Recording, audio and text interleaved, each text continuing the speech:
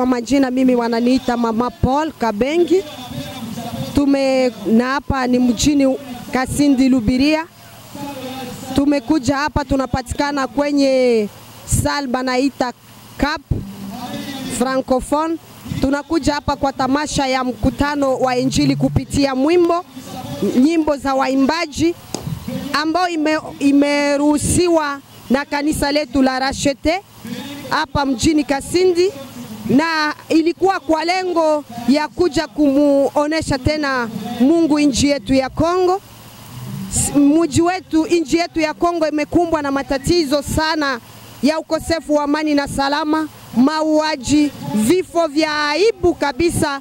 Ndio kwa maana kanisa letu la Rachete Kasindi Lubiria likaandaa consent mkubwa sana ambao ni kweli imepitika kwa amani na salama, wa baba wa mama, vijana, wasichana, watoto kama vile wazee wamekusanyika waliposikia mwaliko wa kukuja kusutenire inji yetu ya Kongo kwa maombi. Antuka kweli tumeona watu wengi sana, watu wengi sana tumekuja kusutenir FRDC kwa maombi ili Mungu apate kutupatia ushindi katika nchi yetu ya Kongo. Mungu apate kutupatia amani katika nchi yetu ya Kongo. Tunasema Mungu abariki tena, abarikiwe zaidi kwa kutupatia tena hiyo neema ambayo ametujalia kwa siku ya leo.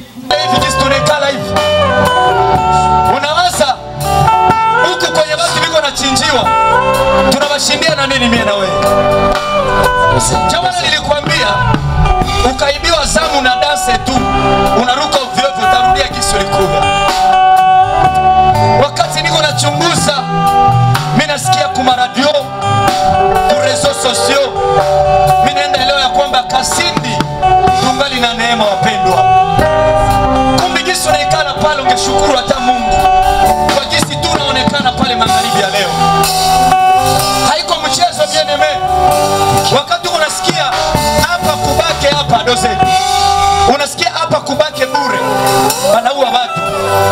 manake namaanisha kikasindi hapa deja tuko anturi. Mie na wewe tungeambia Mungu hata neno moja juu ya amani ya hii nchi. Mie na wewe tungesema hata neno moja juu ya jeshi yetu FRDC. jamana tulisema tutakamata dakika kidogo ya kuonesha Mungu nchi yetu na kuonesha Mungu majeshi yetu, paske wakati Mungu anataka okoa nchi anatumiaka majeshi,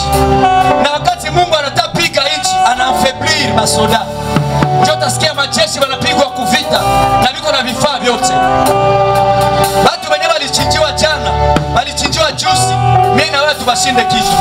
Kuko watu wenye pesa kukushinda, wamechinjiwa sama nyama.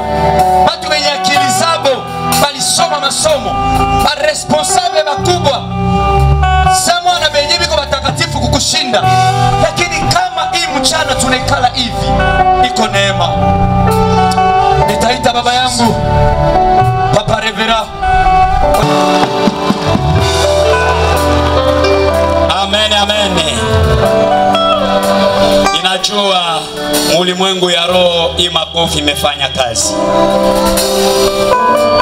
Basi hii ni kanisa la Rashete.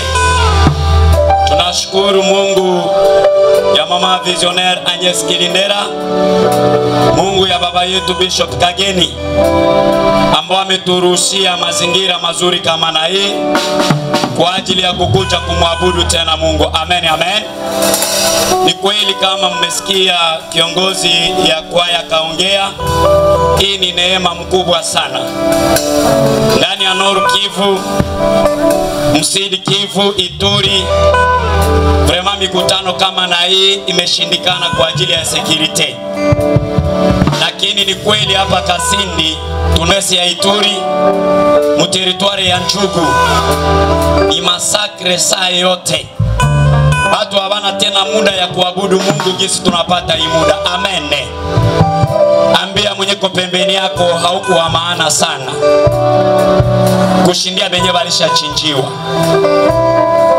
na mtu mwenye atakuwa distrait kwa hii dakika tano tu anashindwa kuomba, mwingine ndugu yake haba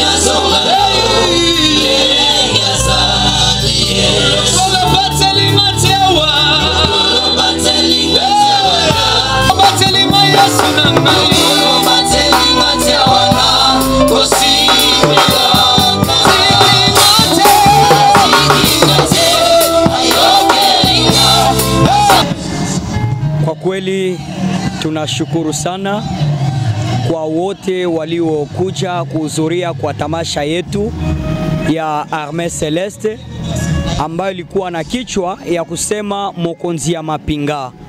Na kwa kweli hii kwaya ama hii kundi ya arme Celeste ilipoandaa hii tamasha ilikuwa kulingana na mambo tunayoyapitia katika teritware yetu ya Beni na ndani ya este na hata ndani ya Kongo kwa ujumla, kwa kuwa hali tunayoyapitia sisi sote tunayajua ni hali ya ukosefu wa amani, na hivi kwa kweli walipojifunza na kuangalia undani katika maandiko matakatifu, tulienda kuelewa ya kwamba kuna vita zingine ambazo watoto wa Israeli ama watoto wa Mungu ndani ya Biblia, vita zingine walipokuwa wakizipata, kuna mara walikuwa wakienda kumuuliza Mungu, tufanye nini ili tutoke washindi ndani ya hii vita ambayo imeinuka mbele yetu.